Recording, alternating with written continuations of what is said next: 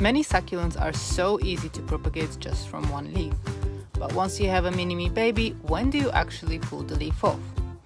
In my opinion and experience, it is best to just leave the leaf until it shrivels and dies off on its own.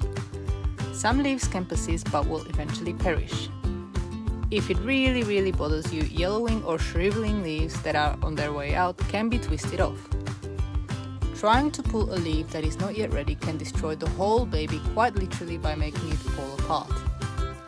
The leaf also provides nutrients and so it is beneficial to let nature take its course and allow it to die off on its own.